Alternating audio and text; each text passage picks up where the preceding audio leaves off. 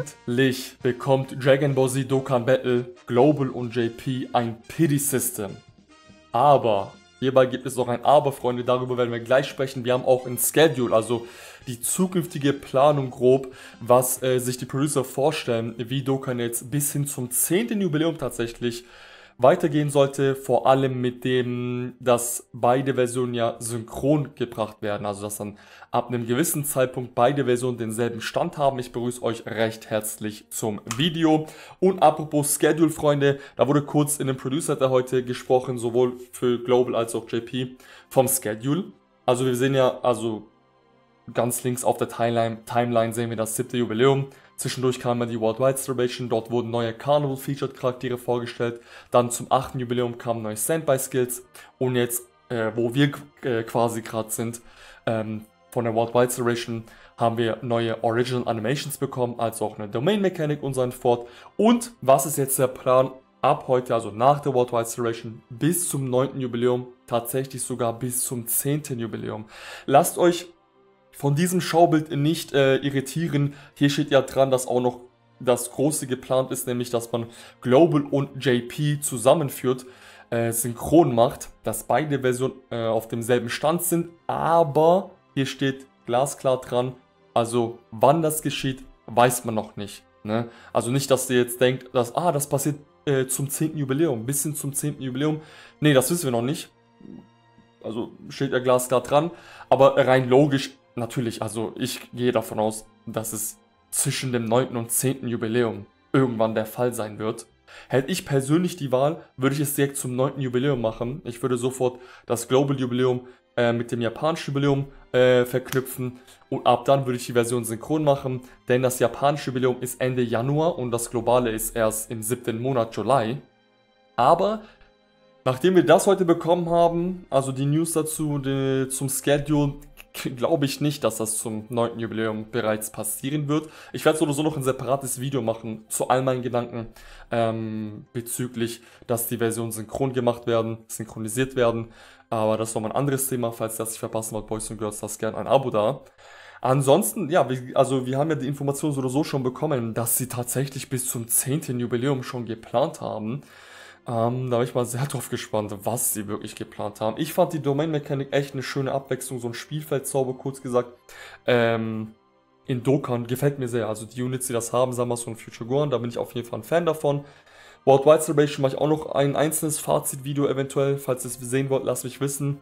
Ähm, die Worldwide Celebration dieser war nämlich komisch. Lange Rede, kurzer Sinn, Freunde. Irgendwo, ne, äh, wissen wir auch noch, dass äh, ab dem 9. bis zum 10. Jubiläum zwischendrin die Version auch noch synchronisiert werden. Genau. Außerhalb davon, also die haben einfach nur tatsächlich einen kurzen Einblick bezüglich Schedule gegeben. Außerhalb davon haben wir noch folgende Nachricht bekommen, Boys und Girls. Die gelben Coinbanner bekommen endlich ein Pity-System. Was heißt ein Pity-System? Das heißt, nach so und so vielen Stones oder Ingame-Währung, die du in einem Spiel ausgegeben hast für einen Charakter, für den man ziehen kann, bekommst du ihn garantiert. Genshin Impact hat zum Beispiel ein Pity-System, garantiert Pity, Soft Pity. Legends hat ein Pity-System, habe ich aber bei Orange Piccolo erfahren tatsächlich. Nach wie viel waren es? 40k CC? Habe ich ähm, Orange Piccolo dann mit dem Pity-System mir geholt. Also ich habe ihn garantiert direkt zum Release bekommen können, falls ich nicht gezogen habe und stand für sich, also jetzt ist einmal total dahingestellt, wie so ein Pity-System von Spiel XY funktioniert, finde ich es äußerst wichtig, dass wir in einem Gacha-Game in der modernen Zeit ein Pity-System haben, auf egal welche Art und Weise. Und Dokkan ist in diesen Sachen noch übertrieben langsam. Die kommen da mit einem Schneckentempo an.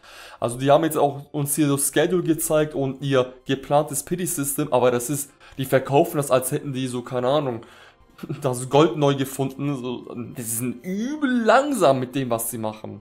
So, also jetzt wisst ihr, was ein Pity-System ist. Wie funktioniert das Pity jetzt? Zum einen wird es nur für gelbe Coin LR sein. Ne, ich habe mir schon einen Joke gesagt, warum, äh, also wir haben endlich ein Pity-System, aber warum für gelbe Coin-Banner, weil da so oder so niemand summont. Und ist, also ich, äh, ist ja logisch, nachdem es Dokkan Fest LR gibt und dann auch noch Carnival LR hinzugefügt wurden, ähm, ist es für mich nur logisch, dass sie das erstmal so an dem äh, gelben Coinbanner raushauen und so verkaufen, als wäre das richtig gut. Ich meine, natürlich hat das Ganze eine gute Sache. Endlich ist das Ding mal gekommen. Es ist der erste Schritt in die richtige Richtung, aber das meine ich damit. Die Schritte von Dokkan sind übertrieben langsam, so im Schneckentempo einfach.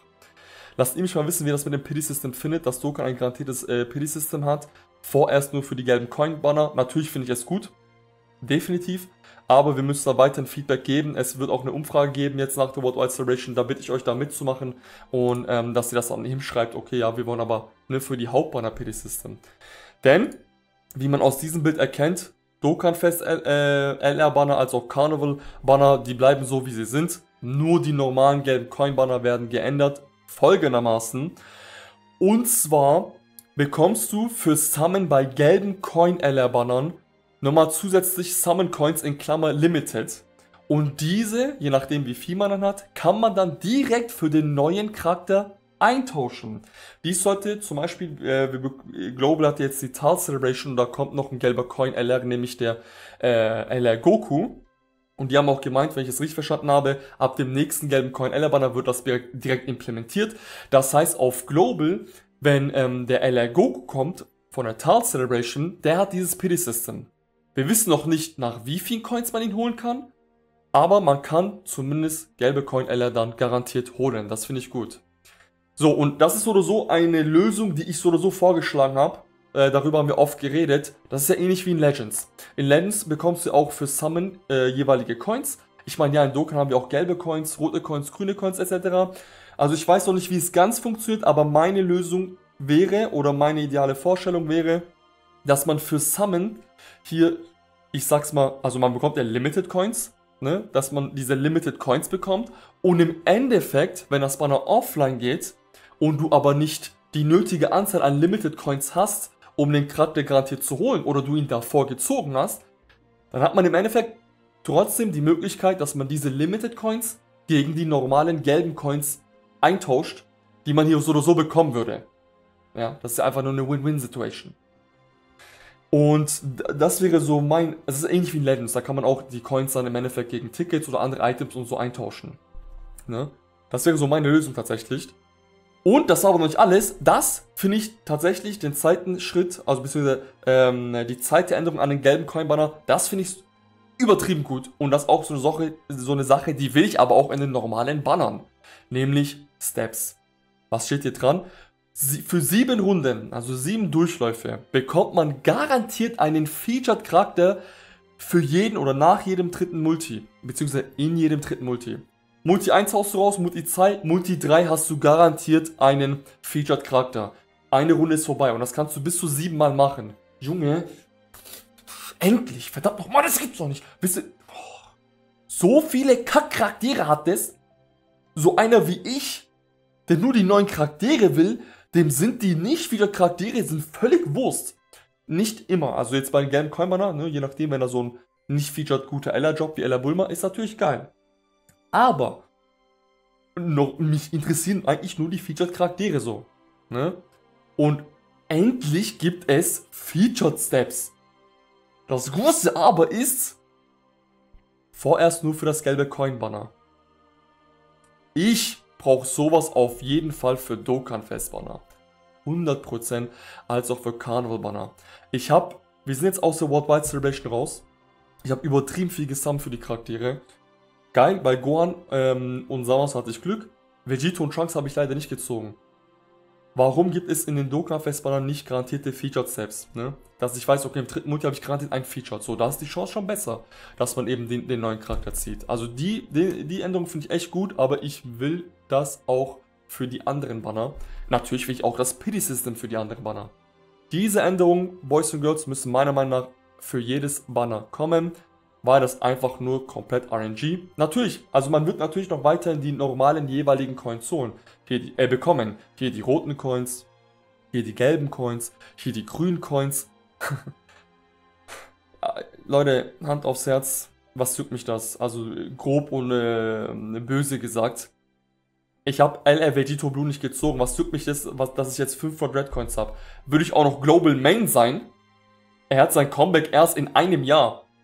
Juli. Erst Juli. JP ist demnächst sein Comeback. Das ist gut, dann kann ich ihm Coins holen.